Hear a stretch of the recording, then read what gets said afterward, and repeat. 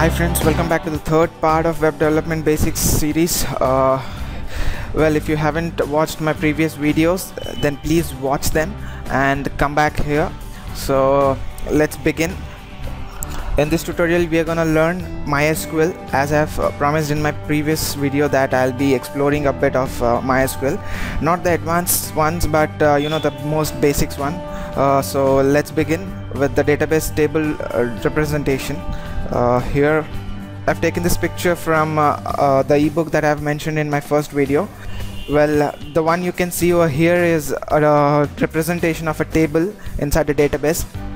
Well let's start from the beginning okay so uh, a database application such as MySQL can have you know a different set of databases and databases in turn can hold different set of uh, tables and tables are the ones which which hold a set of information related to a particular uh, you know stuff. Like if you if you want to hold a set of informations like uh, like storing usernames and password a set of usernames and passwords then you can make a table call it login and uh, you know hold information regarding all your login details.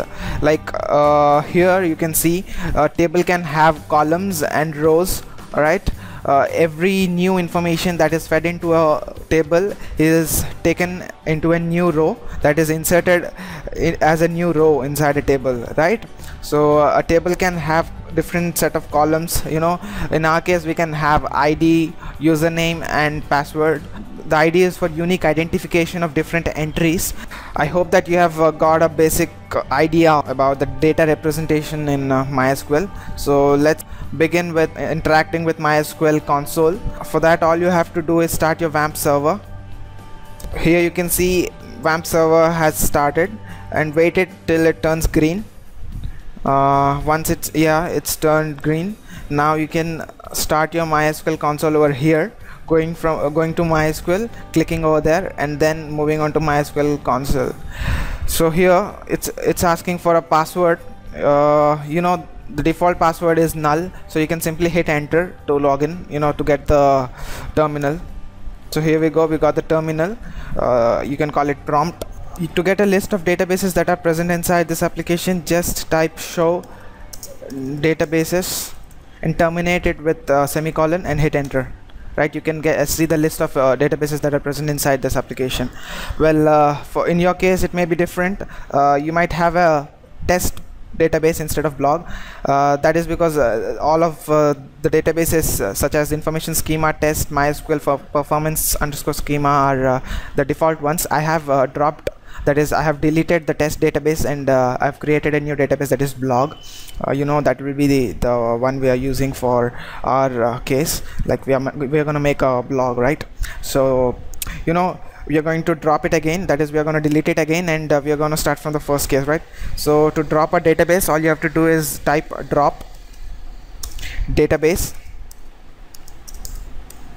and name of the database. That is blog and terminate it with the semicolon and hit enter right? Query okay that means the you know your command has been successfully um, completed right? So once you have done you can uh, do a quick show databases again to get the list of databases that are present right here you can see there is no uh, blog here. There is no database blog over here. So uh, that's how it works uh, you know. Now you have learned to drop our database. Let's move on to creating a database right? Uh, to create a database all you have to do is use create command. That it's just a query. Create database and name of the database. Uh, let's name it anything like uh, blog again right? And terminate it with a semicolon and hit enter you can see the query okay again and uh, do a quick uh, show databases again to get the list of databases that are present. As you can see blog is uh, present over here. So uh, it's back again. If you want to start interacting with that particular database all you have to do is uh, type use and uh, name of the database all right that means you are going to interact with that thing. And don't forget to terminate it with semicolon. You know that's must so the database is changed. You can start interacting with your database. So if you want to check out the tables that are present inside this database then you have to do is type show tables right? And terminate it again with a semicolon and hit enter. As you can see it says empty set. That's because there are no tables inside this particular database.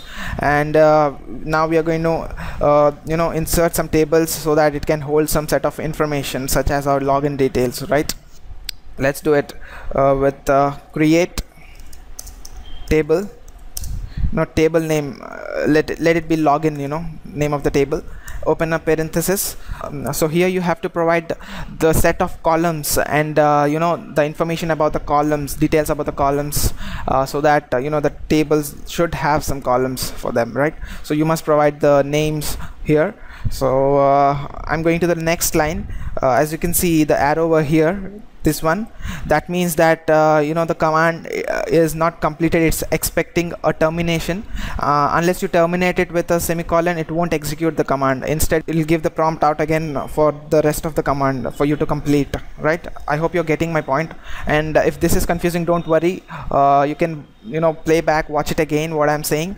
And uh, you can refer some material over uh, um, that over the web that have you know already mentioned the ebook. It's a very good book. You can refer that once more.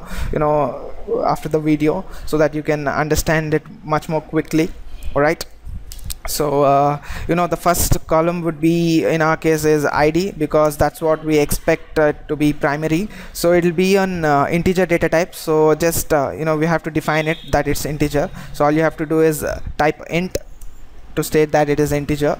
And uh, next you have to do is you know you don't expect it to be null anytime. So you have to do is type not null over here.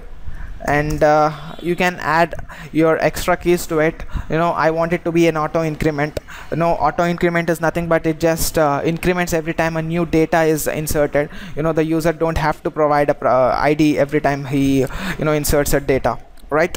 So let's do it. Auto underscore increment and now we want it to be a primary key because it must be unique one right? So uh, we need we need to make it primary right? So we are just making it primary key you know put a comma over here. That means that uh, we have uh, completed giving information uh, regarding one particular uh, column.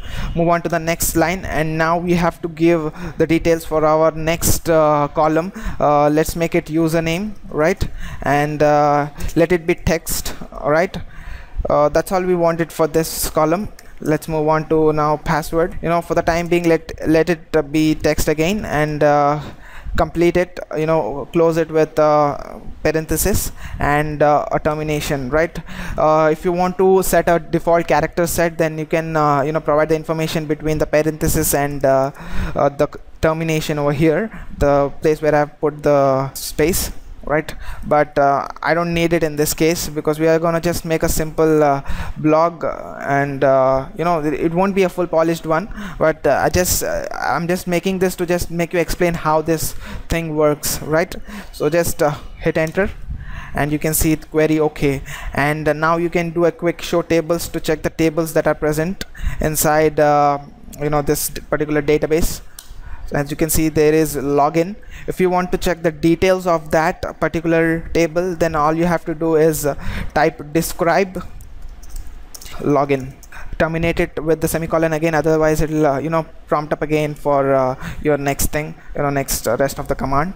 Uh, so as you can see you have three fields over here three columns. And the first one is int and the other two are text.